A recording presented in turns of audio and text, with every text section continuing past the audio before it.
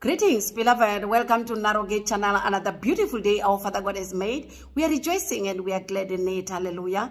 The joy of the Lord is our strength. I welcome those who just joined Narrow Gate Channel. Let us learn together. It's Operation Give Jesus Your 100%. In 2023, the door of the ark is closing. The onus lies on individuals. If you want to be part of the ark, you have to run for your life. Our Father is wrapping up. He said, Behold, I come quickly. Hold fast which thou hast, that no man take thy crown. Praise the name of the Lord. We serve a powerful God, beloved, the great I am, the one and only risen King. In him I hid all the treasures of knowledge and wisdom. Hallelujah. We continue, beloved, with part three of the love between Jesus and his wife. Just to give you a bit of recap. In part two, I explained that the Lord used Prophet Hosea together with his wife and children in chapter 1 to prophesy or to depict a picture of what he is going to do to the 10 tribes, to the northern kingdom, Israel in Samaria. And we know that the 10 tribes were scattered first. Their kings, all 19 of them, did evil in the sight of the Lord. They were burning children alive, sacrificing to Chemosh and to Moloch and to Baal. They were worshiping the host of heaven, the queen of heaven. They were worshiping the sun. They were worshiping the grove. We have covered that in the sins of Israel. So God used the names of the children of Prophet Hosea to prophesy to what he is going to do to the 10 tribes, to the northern kingdom. And he scattered them. The Assyrians took them into captivity. So the last two verses in chapter 1, God said he will gather them again. Because up to now, they are still scattered they will be gathered in the three and a half years of the seven years of tribulation by Jesus and his wife.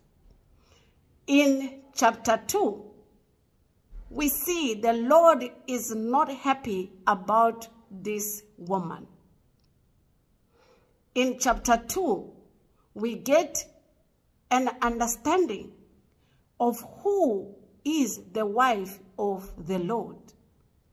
The Lord is not happy about this woman who committed adultery. He said, she is not my wife, neither am I her husband. And I shared with you that the Lord gave me messages twice in different occasions that I must share about the putting away of his wife, the divorcing of his wife and the getting together again. So in the beginning of chapter 2, beloved, when you continue to read, you can see that the Lord is not happy, is grieved about his wife who went into whoredom, who committed adultery and fall in love with other men and have children of whoredom. And we get to understand, beloved, that this wife forgot who she is. That is what the word of God says. So we get an understanding that the bride did not know who she was. So she lived a normal life like you and I. She fell in love. She had lovers. That's what the word of God says. Lovers. Meaning she did not only have one relationship. And the word of God says that God blessed her with the oil, the corn, and the wool. But she did not know that it was her husband who blessed her with what she had. That's what the word of God says. Again, we get to see the love of God in this woman's life, beloved. That even though God knew that she was going to uh, fall in love with other men, he made a way for her to come back to him. The word of God says that he hedged up her way with thorns and make a wall that she find not her path. That when she go after her lovers, when she pursue her lovers, she will not find them. And he took away the wool and the oil that he has given her. He stripped everything from her. And he said, none of her lovers will deliver her from his hand. So we get an understanding that she goes through trials and temptations, frustrations of life. Her lovers will not keep her happy. The word of God says she will then remember that she was better off with her husband. And she repent. She goes to the Lord. She asks for forgiveness. And it was the Lord's plan to take away everything, to bring her back to himself. And the word of God says he allowed her into the wilderness. So we get to understand that this woman was taken into the wilderness where she discovered who she is. And it was there in the wilderness where God said that she will not remember the names of her lovers anymore. Praise the name of the Lord. That's why I said we can only assume that she really went through serious challenges while in the wilderness. And this is expected, beloved, because this woman, she is going to carry serious duties, beloved, heavy responsibility of gathering Israel together with her husband. So she really has to go through severe training. Praise the name of the Lord. And again, while she is in the wilderness, he will betroth her in righteousness and in faithfulness. And she will not continue with her whoredom anymore. She will be faithful to her husband until they get married. Praise the name of the Lord. That is just a high level summary. So I am going to read now Hosea chapter 3.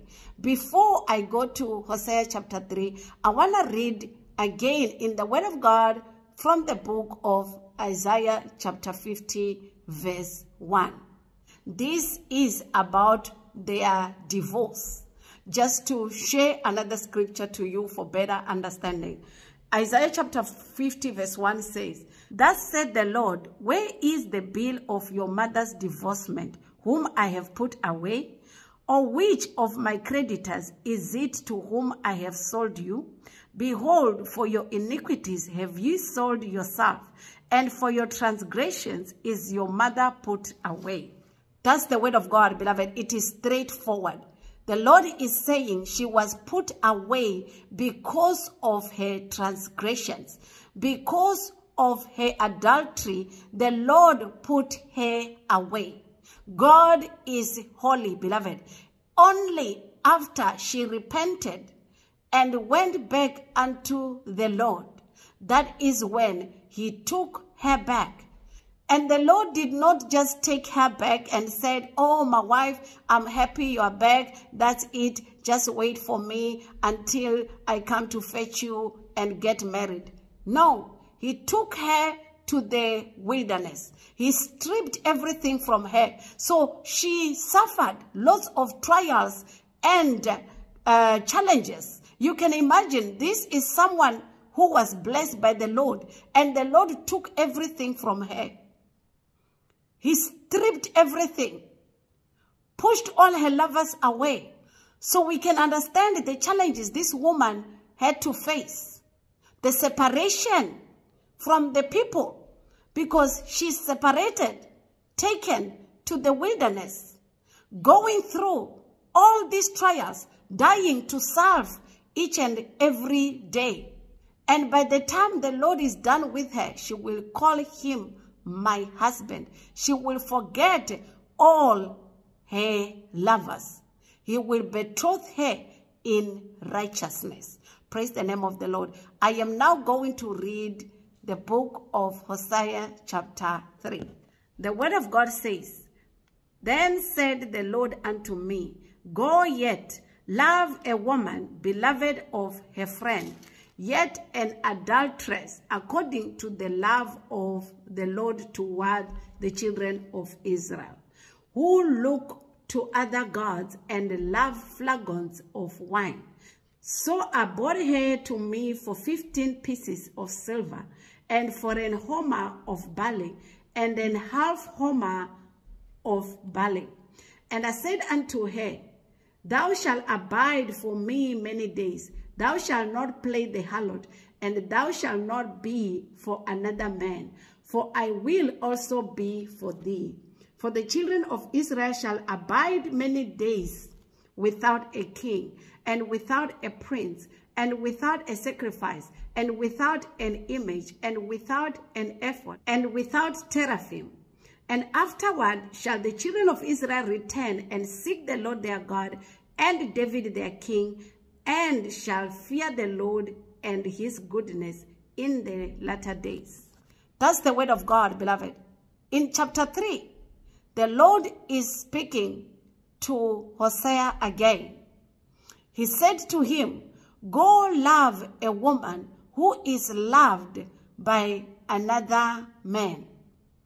I have shared in chapter 1 that as we continue to unpack the prophecies, you will understand why Solomon's Songs chapter 8 says, the love that Jesus has for his wife is as strong as death.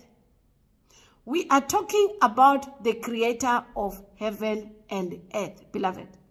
His wife committed adultery to a point of having children. She had lovers. In our own minds, beloved, we will say, oh, Jesus must just get another wife who is perfect like him. Yes, and that is what most of the people have in mind when they hear about the bride of Christ. They have their own perfect woman somewhere. This woman was a sinner who committed adultery against her husband, gave birth to children. She forgot about her husband. She was running after her lovers. She did not even realize that it's her husband who blessed her with what she had until he stripped everything from her. So we see in chapter 3, the Lord is telling Prophet Hosea to go love a woman who is loved by another man. It is said, beloved, that the Lord loves this woman so much but the woman is loved by another man. The word of God says an adulteress. Go and love an adulteress. This woman who's being loved by another man. And again, he spoke about Israel. That he loves Israel regardless of their whoredom. Them going astray, worshipping idols. But he loved them still. So he's telling Hosea, go and love her. It is the same thing that Israel is doing to me. Praise the name of the Lord. So in verse 2, the word of God says, So I brought her to me for 15 pieces of silver and for an homer of barley and an half homer of barley. That's the word of God, beloved. I want us to go back to the books of law for us to understand chapter 2. And I will share with you what our father said regarding verse 2. When you read in Exodus chapter 21 verse 32, if an ox pushes a slave, the owner of that ox must pay 30 shekels of silver to the owner of that slave. So 30 shekels was the amount that was charged for the slaves. So I want us to follow. In the book of Hosea, chapter 3, verse 2, he said he paid 15 shekels of silver. So he paid half for her. So according to the book of law, it's supposed to be 30 shekels for a slave. So let us now go to see what happened to the balance. Now let us go to Numbers chapter 5. Again, the book of law and see what is the penalty if a man suspects that his wife is unfaithful. I want to read the word of God from the book of Numbers 5 verse 15. Then shall the man bring his wife unto the priest, and he shall bring her offering for her, the tenth part of an ephah of barley meal. He shall pour no oil unto it, nor put frankincense thereon. For it is an offering of jealousy, an offering of memorial, bringing iniquity to remembrance. So going back now to the book of Hosea chapter 3 verse 2, we see that he paid half the amount that is supposed to be paid for a slave, which is 30 shekels of silver. He paid only 15. So the other half was paid by this Bali because the sin that she committed is related to unfaithfulness according to the law. So the husband has to take an offering of barley to the priest. So the other half was in a form of barley to fulfill the law. And for us to have a better understanding of what I'm sharing, I will read the word of God from the book of Matthew 26, verse 14 to 15. Then one of the twelve, called Judas Iscariot, went unto the chief priests and said unto them, What will ye give me?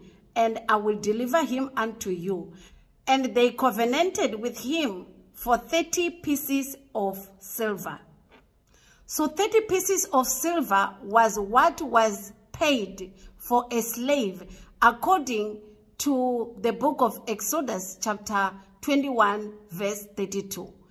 And this is what was given to Judas Iscariot as well, who sold Jesus. So he was paid that same amount that is paid for a slave.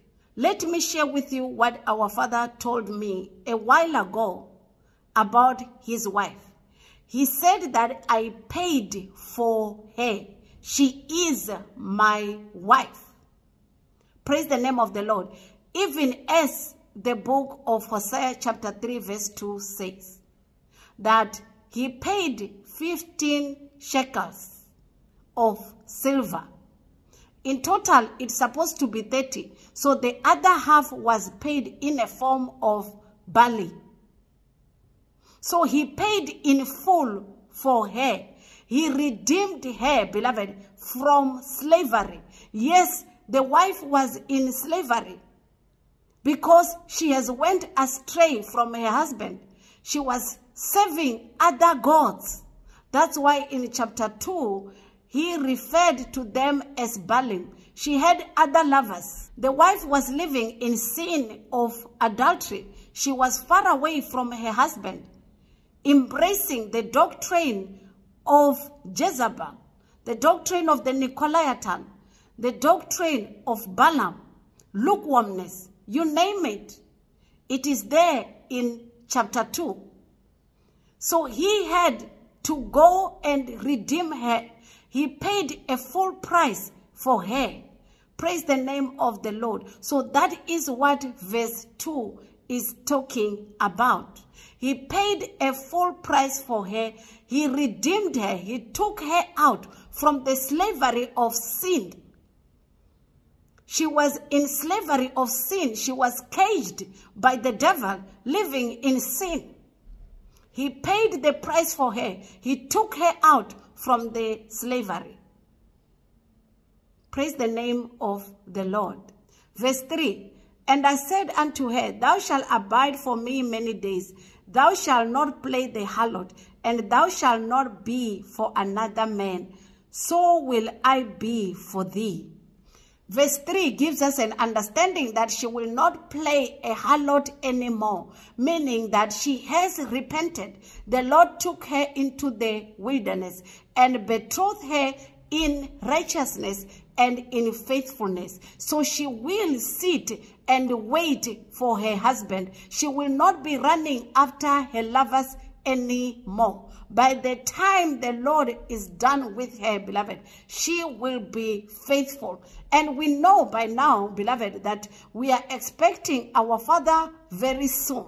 So I will assume that she is done with her training. She is waiting for her husband. As the word of God says, that she will not play the harlot anymore.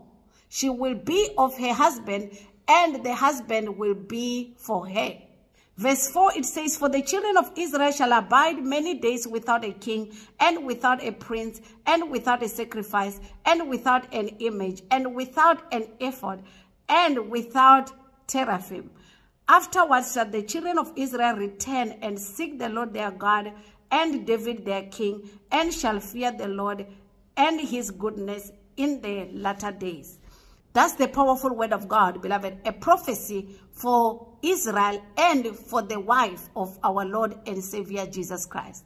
She abide without her husband for many days as well, due to her adultery, due to her iniquities. The Lord puts her away. He divorced her. And even as the children of, of Israel, due to their iniquities, the Lord scattered them and they do not have a king anymore. But in verse 5, the word of God says, the children of Israel shall return and seek the Lord their God. So the same with the bride. She returned and sought the Lord, beloved. And they reconciled, even as verse 3 said, Thou shalt not play the harlot, and thou shalt not be for another man. So will I also be for thee. So Jesus and his wife reconciled. So Israel as well will return unto the Lord. And David shall be their king. In the latter days, beloved, the dispensation that we are in, we know that God will gather Israel. All of the 144,000 will repent and return unto the Lord. The same way that the wife returned back to her husband, she repented and he betrothed her in righteousness and in faithfulness. So, beloved, we get to see that indeed there is no excuse that humanity will give to God. God reconciled with his wife who committed adultery, beloved. She went back to him and he forgave her and they're going to get married. So those who are in second marriages, giving excuses, the wife of the Lord has children from another man. Yet the Lord took her back, beloved, and he is going to marry her. What excuse are we going to give? Indeed, we can see that this love is as strong as death. And the jealousy is indeed as cruel as the grave because he went flat out and destroyed everything that was standing in a way for his wife to come back to him. And it worked. He brought her back to himself, where he wants her to be. So we can see, beloved, that there will be no excuse for those who are continuing in adultery. Praise the name of the Lord. Indeed, we can learn a lot, beloved, from our Lord and Savior Jesus Christ. This is the kind of love that God intended from the beginning, beloved.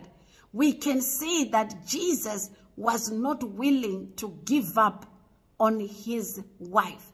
Regardless, beloved, he made sure that she comes back to him.